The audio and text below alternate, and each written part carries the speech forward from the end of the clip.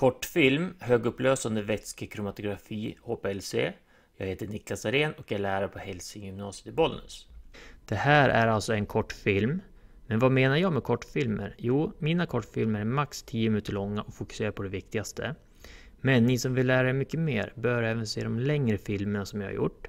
För i de längre filmerna så förklarar jag allting lite utförligare, tar upp lite fler saker och har ofta med flera exempeluppgifter med fullständiga lösningar. Med det sagt så tycker jag vi kör igång den här genomgången. Högupplösande vätskekromatografi förkortat HPLC baserat på det engelska namnet då. Och ofta säger man bara HPLC, man orkar inte säga det långa namnet. Men i alla fall, det är en avancerad kemisk analysmetod som används för en rad olika typer av ämnen. Det kan vara för att analysera gifter, droger, läkemedel. Det kan användas för analys av dopingpreparat, brandfarliga vätskor, miljögifter och med mera, med mera. Här har ni en översiktlig bild över hur en HPLC är uppbyggd. Och med hjälp av den här bilden så ska jag försöka förklara principen då. Dels så har ni den här mobila fasen. Det är en behållare som innehåller vätskan, den mobila fasen. Och den här mobila fasen, vätskan, är antingen polär eller opolär. Och den här mobila fasen kommer att pumpas genom vår HPLC-maskin med hjälp av en pump. Och syftet med den mobila fasen och pumpen det är liksom att transportera vårt prov genom HPLC-maskinen. Så då har vi en injektor där vi tillsätter vårt prov. Så att här tillsätter vi provet i injektorn så det kommer ut här. Och då kommer den mobila fasen som pumpas ut med hjälp av pumpen att ta med sig provet hela vägen här in i kolonnen. Och här i kolonnen så kommer de olika ämnena i provet kunna separeras från varandra. För att de kommer bromsas upp olika mycket inne i kolonnen. Och då är det så att den stationära fasen här, alltså molekylerna som sitter här på insidan av kolonnen, de är antingen polära eller opolära. Och man har en polär kolonn, alltså polära molekyler här, om den mobila fasen är opolär.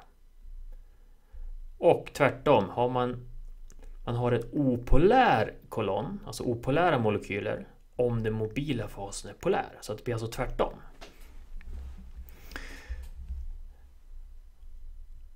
Men kolonnen kommer alltså bromsa de olika ämnen som kommer igenom som kommer här. Så att vissa ämnen kommer tas ut tidigare än andra. Sen kommer de komma fram till detektorn och detektorn den känner av när ett ämnes molekyler passerar igenom. Och detektorn kommer då registrera någonting som kallas för ämnesretentionstid. Retentionstiden är alltså den tid det tog för ämnet att ta sig genom maskinen, genom kolonnen och fram till detektorn. Och den kommer också registrera signalstyrkan och det har att göra med hur många molekyler av samma ämne som passerar här. Och detektorn kommer göra ett kromogram. Så varje ämne som passerar detektorn kommer få en sån här stapel. Och det här diagrammet då kommer visa retentionstiden och signalstyrkan, hur mycket det är av varje ämne. Ja, jag tänkte ta ett exempel här för att ni ska förstå hur det här fungerar. Och exemplet är att vi ska analysera droger i ett urinprov med hjälp av HPLC. Och det är de kemiska forensikerna på Nationellt forensiskt centrum i Linköping som får den här uppgiften. De ska analysera ett urinprov från en person som misstänks ha intagit någon form av drog. Och de väljer att analysera det här provet med hjälp av HPLC. Och för att kunna identifiera okända ämnen så måste ha någonting att jämföra med. HPLC-maskinen kommer ju vis, vi kommer få ut retentionstider från vårt prov. Men vi måste ha någonting att jämföra det med. Så att då har man liksom tagit fram tabeller över olika ämnen med kända retentionstider. Så att nu misstänker forensikerna här att den här personens urin kommer kanske kunna innehålla de här ämnena. Urinämne borde det finnas.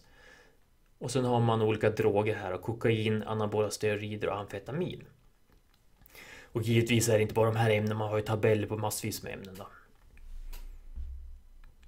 Men genom att jämföra de erhållna retentionstiderna som man får fram då i HPLC med de här kända så kan man lista ut vilka okända ämnen som finns i urinprovet.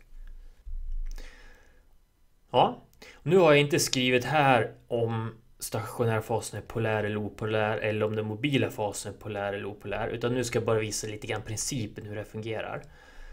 Här har vi vårt urinprov och injektorn. Vi kommer sätta in vårt prov i injektorn.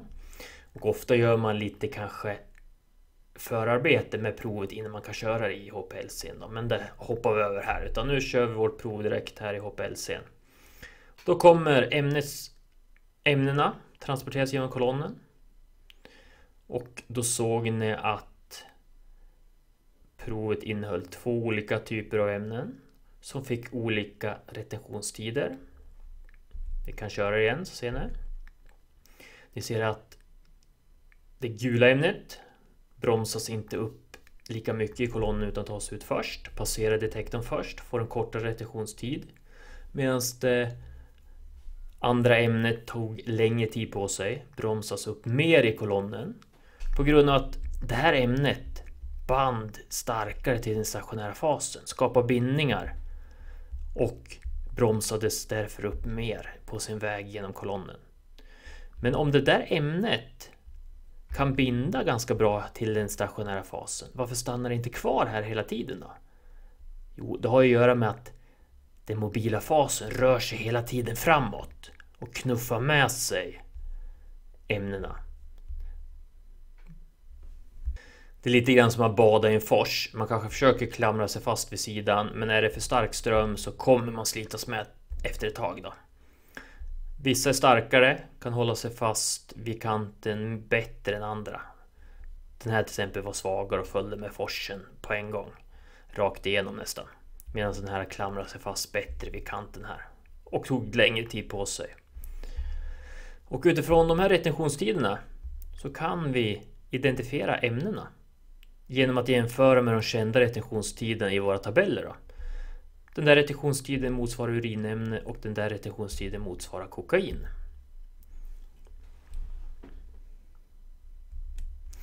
Och kromatogrammet som vi får ut skulle kunna se ut på följande sätt. Då. HPLC-analyser kan utföras på två olika sätt. Det första sättet kallas för normalfaskromatografi. Då har man en mobil fas som är opolär medan den stationära fasen är polär. Alltså kolonnen är polär. Och har man en polär kolon, kolonn så innebär det att polära ämnen kommer bromsas upp mest och få längst retentionstid. De polära ämnena i provet kommer kunna skapa antingen vätebindningar eller vanliga dipoldibolbindningar till ämnena i den polära stationära fasen. Och därför kommer de bromsas upp mest inne i kolonnen. Den andra metoden kallas för omvänd faskromatografi. Då är den mobila fasen polär medan den stationära fasen är opolär. Alltså kolonnen är opolär. Och har man en opolär kolonn så innebär det att opolära ämnen kommer bromsas upp mest och få längst restriktionstid. Nu kommer ju nämligen de polära ämnena trivas bäst i den polära mobila fasen eftersom det är där de kan skapa starka bindningar. Opolära ämnen däremot, de kan inte bindas så bra till den polära mobila fasen. För de kan inte skapa vätebindningar, de kan inte skapa dipol-dipolbindningar. De kan bara skapa van der Waals-bindningar. Däremot så kommer de kunna binda till den opolära stationära fasen. Alltså till själva kolonnen. Och det här innebär alltså att opolära ämnen kommer bromsas upp mest inuti kolonnen och därför får de längst retentionstid. Det var allt för den här gången. Här har ni en länk till en mer omfattande film inom samma område. Så vill ni lära er mer och förstå det här ännu bättre så klicka in på den och kolla lite extra. Ja, och vill ni ta del av alla filmer som jag har gjort så kan ni gå in på någon av mina två Youtube-kanaler. Tack så mycket för mig!